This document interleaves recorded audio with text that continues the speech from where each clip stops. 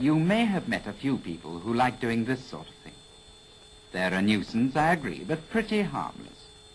You have certainly seen thousands like this. They're not a nuisance. They're a real danger.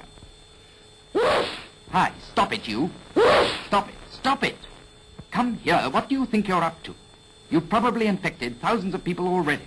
What do you think this is for?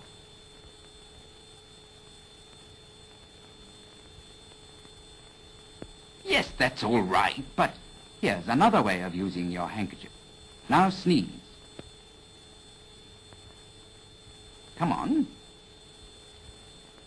All right, never mind. Close your eyes.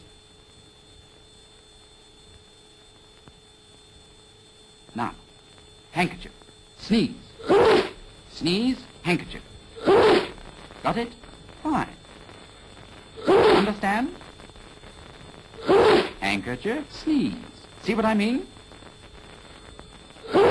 That's the idea.